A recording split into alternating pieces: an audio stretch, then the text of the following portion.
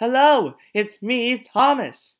I'm glad you're here because me and my really useful friends will want to show you the adventures of Thomas the Tank Engine friends. We have friendship adventures. Bust my buffers, Toby. You look amazing. Thank you, Edward. It's nice to be back. Crazy crashes? What is he yelling about? Oh! oh! Ouch!